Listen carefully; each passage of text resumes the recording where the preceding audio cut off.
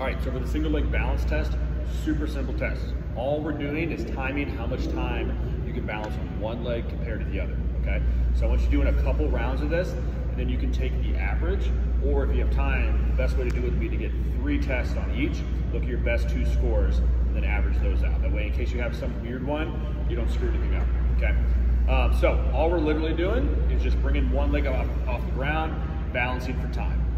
That's it. So I'm measuring how much time max until I have to touch the ground or grab something else.